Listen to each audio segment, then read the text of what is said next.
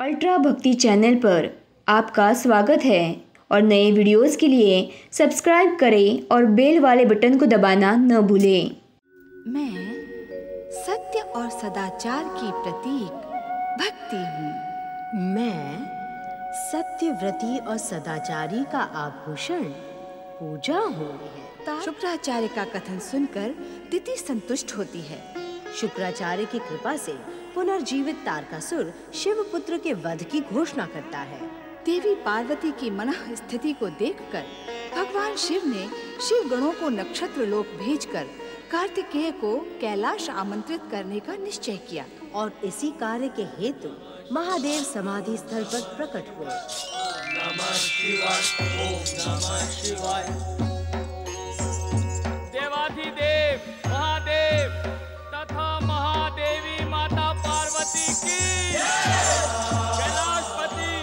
भगवान शिव शंकर तथा पार्वती की। भोलेनाथ, भगवान शिव शंकर तथा माता पार्वती की। प्रिय नंदी, प्रिय शिवगणों, आज हम तुम्हें एक अत्यंत शुभ समाचार सुनाने के इच्छुक हैं। देवाधिदेव महादेव भगवान शिव शंकर की। प्रभु आपने शुभ समाचार का संकेत देकर हमारा हर्ष दुगना कर दिया है। स्वामी हमारा मन शुभ समाचार सुनने को आतुर हो रहा है। गणाध्यक्ष नंदी महाराज अब दिव्य शिवपुत्र का शीघ्र ही कैलाश पर परम पावन आगमन होगा। शिवपुत्र। शिवपुत्र? शिवपुत्र। शिवपुत्र। हाँ शिवपुत्र। नंदी महाराज शिवपुत्र को कैलाश लाने का सौभाग्य तुम्हें प्राप्त होगा। तुम शिवगुणों को अपने साथ लेकर कृतिकाओं के नक्षत्र लोग जाओ। हम तुम्हें वहाँ पहुँचने की दिव्य शक्ति प्रदान करते हैं। शिवपुत्र की। शिवपुत्र कुमार कार्तिकेय की। प्रभु शिवपुत्र ने कब और कहाँ जन्म लिया? शिव के अंश से जन्मा नंदी उसको भी पता नहीं चला। भोलेनाथ यह आपने शुभ समाचार हमको पहले क्यों नहीं बताया? समय से पूर्व कोई कार्य पूर्ण नहीं होता नंदी महाराज। जब तक शिवपुत्र कार्तिकेय दस वर्ष की आयु पूर्ण नहीं कर लेता तब तक उसका नक्षत्र लोक से बाहर आना संभव ही नहीं था। प्रभु क्या हमारा राजकुमार दस वर्ष का हो चुका है? नंदी महाराज उसे राजकुमार नहीं केवल कुमार कहो कुमार कार्तिकेय हम योगी और वैरागी राजा कैसे हो सकते हैं? योग और वैराग्य के मूर्तिमान आदर्श भगवान भोलेनाथ। आपकी स्नेह छाया पाकर हमारा जन्म सफल हो गया।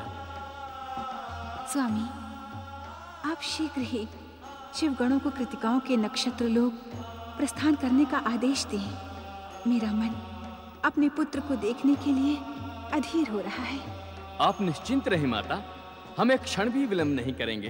भगवान भोलेनाथ की आज्ञा से हम अभी कुमार कार्तिकेय को लेकर आते हैं।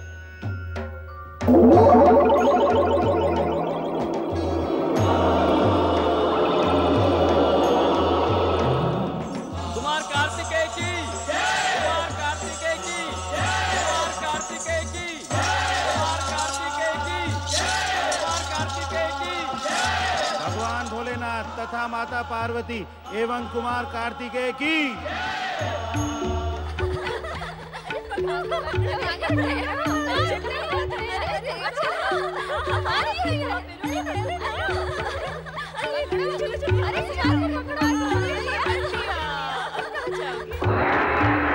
नारायण नारायण। नारायण ने इस जगत में माता का हृदय अमृत कुंड के अमृत जल से बनाया है। आप सभी ने कुमार कार्तिकेय को जो प्रेम एवं ममता प्रदान की है उसे इस जगत में सदा सदा ही याद किया जाएगा। आपकी प्रशंसा में ना तो मेरी वाणी समर्थ है और ना ही मेरे शब्द पर्याप्त हैं। इसमें नई और अनोखी बात क्या है देवऋषि?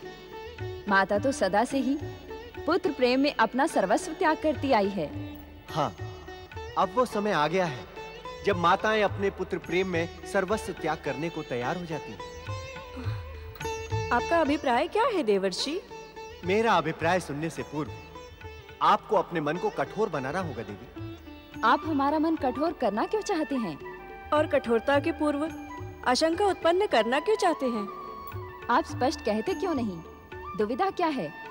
नारायण नारायण स्पष्ट कह तो दूँ किंतु आप उसे सुन नहीं पाएँगे। केवल इतना जान लें कि सुख और दुख परिवर्तनशील होते हैं। जिस प्रकार दुख अधिक दिन तक नहीं रहता उसी प्रकार सुख भी समय पाकर बिना हट किए हुए आपके जीवन से चला जाता है। तो आप अब ये कहना चाहते हैं कि हमारे जीवन से सुख चला जाएगा? कार्तिकेय के यहाँ से चले जाने का यही अर्थ होता है। कार्तिकेय? चला जाएगा? हमें छोड़कर चला जाएगा कार्तिकेय? हम नहीं जी सकती कार्तिकेय के बिना। हमें छोड़कर जाएगा कहाँ कार्तिकेय? कहाँ चला जाएगा? नारायण नारायण। मैं जानता था कि ये सब सुनकर आपके मन में दुख का बवंडर खड़ा हो जाएगा। यदि आप जानते थे तो ऐसा कटु और कठोर सत्य कहने की आवश्यकता क्या थी आपको? नारायण नारायण देवियों ये सत्य कटु एवं कठोर ही नहीं अपितु अटल एवं लोक कल्याणकारी भी है। तो सुनो तो इसमें किसका कल्याण है? नारायण नारायण सारे जगत का शिवपुत्र कुमार कार्तिकेय का जन्म तारकासुर का वध एवं शिव भक्ति के प्रचार के लिए ही हुआ है। और वो ये यहाँ नक्षत्र लोक में रहकर नहीं कर सकते। इसीलिए कुमार कार्तिकेय को शिवलोक जाना ही होगा। नहीं हम कार्तिकेय के बिना नहीं रह सकते। नहीं नहीं हम इसको नहीं जाने देंगे। हाँ हाँ हम इसे नहीं जाने देंगे। इसके बिना हमारा जीवन शून्य हो जाएगा। देवियों देवियों भाभी को कौन टाल सकता है? शिवलोक से शिवदूत किसी भी क्षण शिवपुत्र कुमार कार्तिकेय को लेने यहाँ आ सकते हैं। नारायण नारायण।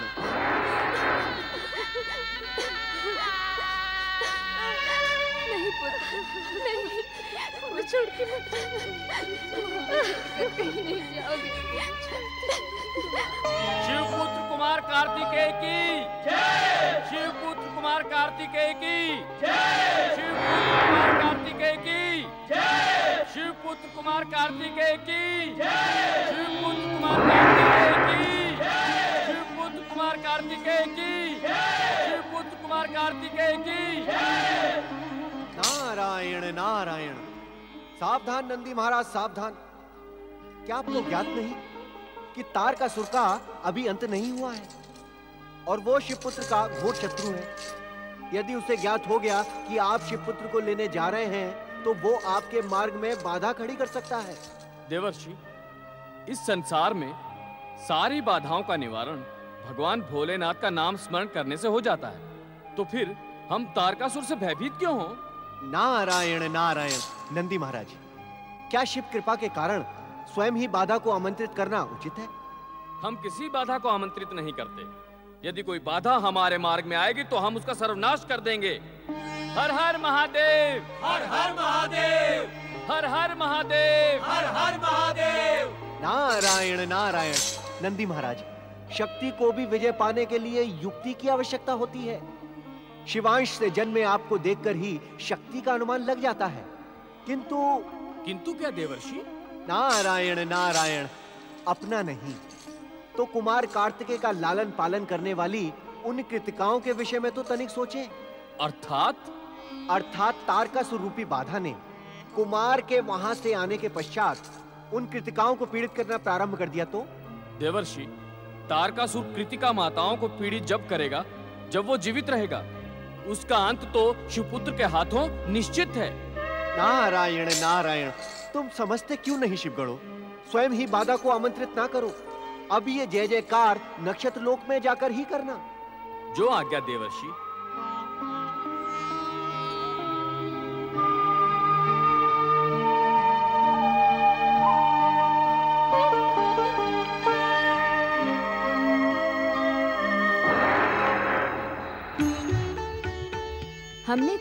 संसार की समस्त विद्याएँ सिखा दी हैं। अब तुम हमें उनका प्रदर्शन करके दिखाओ। हाँ पुत्र। तुम्हारा प्रदर्शन देखकर हम प्रसन्न हो जाएँगे। वैसे तो तुम्हें देखकर हमारा मन सदा आनंदित रहता है। गंगा मैया ने हमारे ऊपर हम कृतिकाओं के ऊपर महान कृपा की है कि जो तुम जैसा पुत्र हमें प्रदान किया है। माताओं आप सबकी आज्ञा का पालन करना मेरा धर्म और कर्तव्य भी है। किंतु किंतु क्या पुत्र? माता आप तो भली भांति जानती हैं। आप सबसे समस्त विद्याओं में दीक्षित होने के पश्चात भी मुझे युद्ध विद्या सबसे अधिक प्रिय है। हाँ पुत्र युद्ध विद्या में तुम्हारे अस्त्र शस्त्र के प्रयोग कौशल्य को देखकर हम स्वयं चकित रह जाती हैं। हमें ऐसा प्रतीत होता है कि इस संसार की कोई अज्ञात महाशक्ति तुम्हें युद्ध विद्या प्रदान कर रही है। नहीं माता नहीं। मुझे युद्ध विद्या आपके अतिरिक्त और किसी से प्राप्त नहीं हुई। मैं जो कुछ भी जानता हूँ सब आपकी कृपा का ही परिणाम है। किंतु पुत्र तुम्हारी युद्ध विद्या हमारी युद्ध विद्या से अधिक है। माता आप मुझे प्रसन्न करने के लिए मेरी प्रशंसा कर रही है ना? पुत्र तुम्हें प्रसन्न रखना तो हमारे जीवन का एकमात्र उद्देश्य है। तुम्हारे आगमन से हम ही नहीं नक्षत्र लोक का पूरा वातावरण भी आनंदित हो गया है। पुत्र हम तुम्हारी विद्याओं का प्रदर्शन देखने को उत्सुक हैं। माता शस्त्र विद्या का प्रदर्शन तो मैं युद्ध भूमि में शत्रु के सन्मुख ही कर सकता हूँ ना? तो क्या तुम्हारे युद्ध कौशल की प्रतिभा देखने से हम वंचित रह जाएँगी? नहीं माता मैं आप सबको वचन देता हूँ कि जो दिव्य युद्ध विद्याएँ मैंने आप सबसे प्राप्त की है उनका प्रदर्शन मैं समय आने पर अवश्य करूँगा। प्रदर्शन तो मेरा होगा किंतु विजय आपकी होगी। अर्थात अर्थात माता ये शिक्षा तो आपने ही मुझे दी है ना? शिष्य जब भी कोई कार्य सफल करता है तो वास्तविक सफलता उसके गुरु की होती है ना? सुंदर अति सुंदर। विद्या को ग्रहण करने की तुम्हारी शक्ति अद्भुत है पुत्र। माता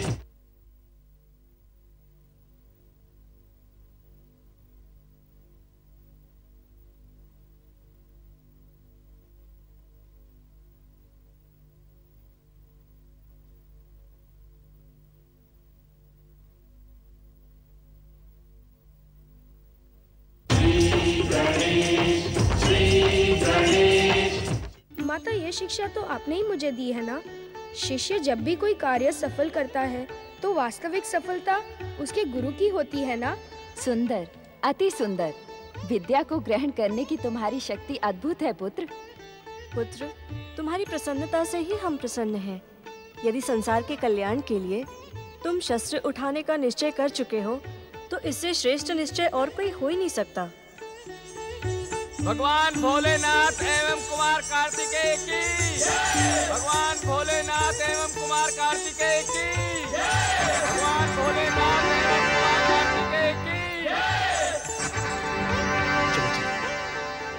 जय कृतिका माताओं। हम भगवान भोलेनाथ के सेवक, शिवगण हैं। हम उन्हीं की आज्ञा से नक्षत्र लोक में प्रकट हुए हैं। आप सभी शिवगणों का नक्षत्र लोक में स्वागत है। कहिए हम आपकी क्या सेवा कर सकते हैं? देवियों हम भगवान भोलेनाथ की आज्ञा से कुमार कार्तिकेय को उनके माता पिता के समीप कैलाश ले जाने के लिए आए हैं।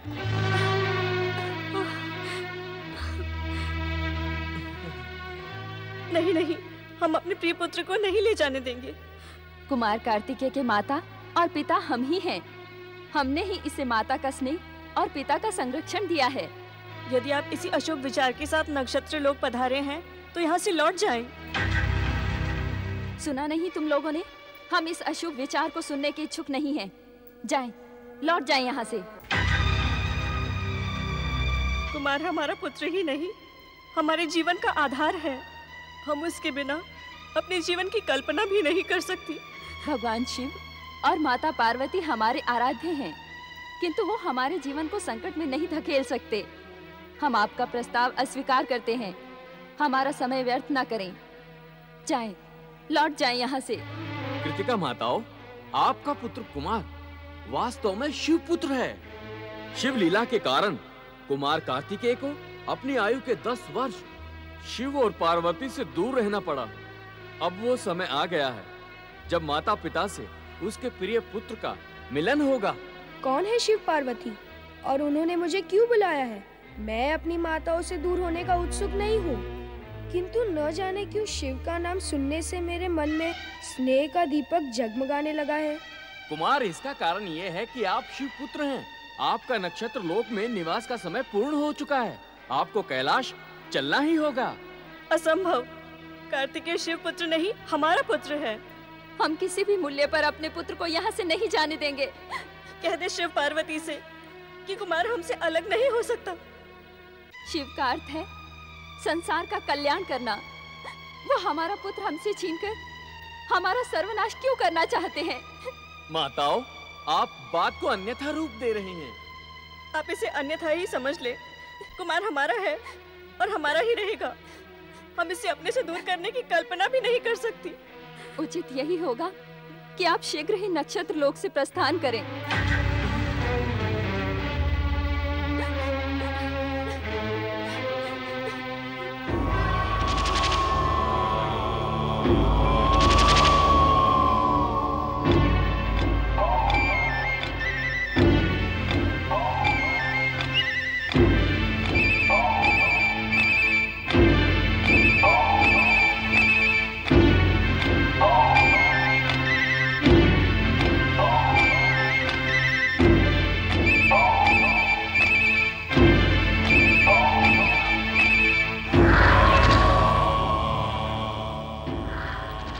असुरराज आज उद्विग्न है हमें इनके मनोरंजन का कोई उपाय सोचना चाहिए। सेनापति भयासुर स्वर्गाधिपति स्वयंभू तारकासुर स्वर्ग की अप्सराओं का नृत्य देखकर प्रसन्न हो जाते हैं। क्यों न हम असुर राज की उद्विग्नता को समाप्त करने के लिए अप्सराओं के नृत्य का आयोजन करें। तुमने उचित परामर्श दिया है। जाओ और स्वर्ग अप्सराओं को आज्ञा दो कि शीघ्र ही स्वर्गराज सभा में उपस्थित होकर असुरराज का मनोरंजन करें। जो आज्ञा सेनापति भयासुर। नहीं। नृत्य आदि की आवश्यकता नहीं है। नहीं है। असुर राज तारकासुर आपके पिता मही दैत्य माता दिति ने मुझे आपके महान बलशाली पुत्रों की माता होने का आशीर्वाद दिया है। परंतु आप मुझसे दूर रहकर दैत्य माता दिति के आशीर्वाद को व्यर्थ कर रहे हैं स्वामी। और इतना ही नहीं आप महान असुर जाति के उज्जवल भविष्य को भी अंधकार में ढकेल रहे हैं। स्वामी, अब तो आ जाइए। स्वामी। दुखी मत हो, शाम्बुकी। दुखी मत हो। आज तुमने हमें हमारे कर्तव्य का स्मरण करवा दिया, शाम्बुकी। शिव पुत्र के मिथ्या भय के कारण हम अपनी शुद्ध बुद्ध खो बैठे हैं। उसी भय में उत्तेजित होकर हम लगभग अपने प्राण ही खो बैठते किंतु केवल तुम्हारे भाग्य के कारण, केवल तुम्हारे भाग्य के कारण शंभु की हम बच गए हम जीवित बच गए शाम्बुकी हम शीघ्र तुम्हारे पास आ रहे हैं। हम शीघ्र तुम्हारे पास आ रहे हैं शाम्बुकी